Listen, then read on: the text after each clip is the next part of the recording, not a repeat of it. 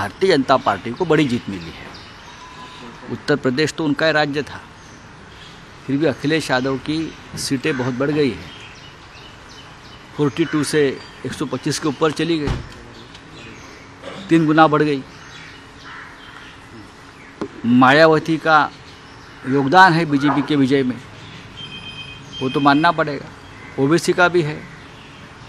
तो उनको पद्म विभूषण भारत रत्न देना पड़ेगा अभी सबको। लेकिन मैं हम लोग खुश है कि पार्लियामेंट्री डेमोक्रेसी में हार जीत होती है। उत्तर प्रदेश गोवा उत्तराखंड में बीजेपी जीत गई है। उससे हमें दुख होने का कोई कारण नहीं है। आपके खुशी में हम भी शामिल हैं। उत्तराखंड के मुख्यमंत्री क्यों हार गए? गोवा में दो दो डिप्यूटी सीएम हार गए। लेकिन सबसे बड़ा चिंत, चिंता का विषय है पंजाब।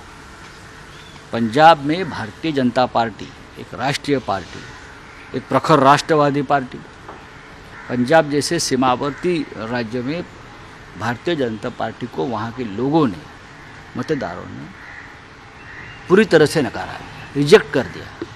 ये चिंता की बात है। इतनी बड़ी ताकत प्रधानमंत्री गृह मंत्री रक्षा मंत्री सबने वहाँ झोंक कर प्रचार किया था। फिर भी पंजाब में आप क्यों हार गए? उत्तर प्रदेश तो आपका ही था, उत्तराखंड आपका ही था, गोवा आपका था, वो ठीक है, वो ठीक है।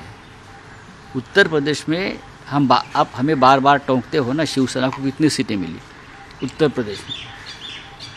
उत्तर प्रदेश में कांग्रेस की और शिवसेना की